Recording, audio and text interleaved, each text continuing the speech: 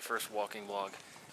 So when I say Kalamazoo, what I mean, of course, is the International Congress for Medieval Studies, which is in Kalamazoo, Michigan.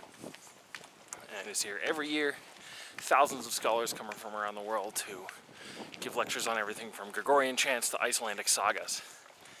And it is awesome. I've been coming for about five years. I gave a paper here last year. I am being tempted to take up research again and give one next year or the year after. We'll see how that goes with all the other stuff I'm doing.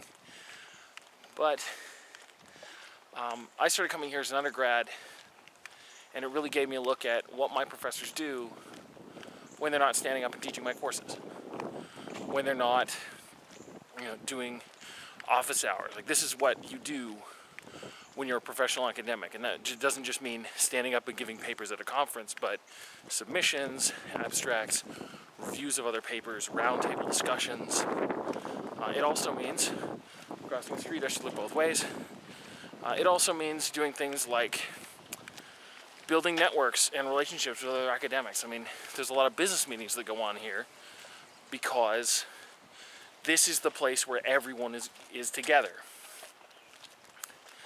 All in all, it's a lot of fun. Every year we, we bring about 10, sometimes even 20 undergrad students.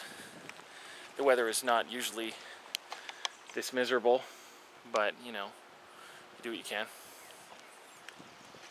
I am off to a session about Gregorian chant where I will sing and it will be wonderful. However, those guys are getting ready for a judge's duel, which I'm really tempted to go to, but I really want to sing, so it's kind of hit or miss.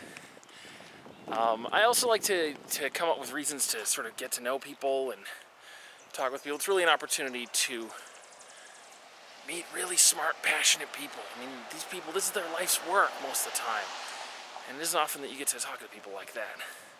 So this year I'm hoping to talk with people about why they do medieval studies and why humanities are important. And I'm also kind of hoping to write a metal song about the epic beards that are here. There are some epic beards. Um, so I've been taking photos of awesome beards and I'm hoping to get that out in maybe a month. You know how I am about keeping internet promises. That person just totally walked by me. This is my first walking blog, so it's a little weird still. But uh, that is what Kalamazoo is in essence. And I'll probably try and talk about that and get other people to talk about that a little later. See ya.